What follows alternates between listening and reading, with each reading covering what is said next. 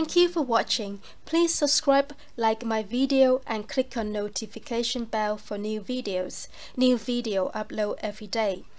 Please join Facebook group and feel free to share your cute drawings. See you next time.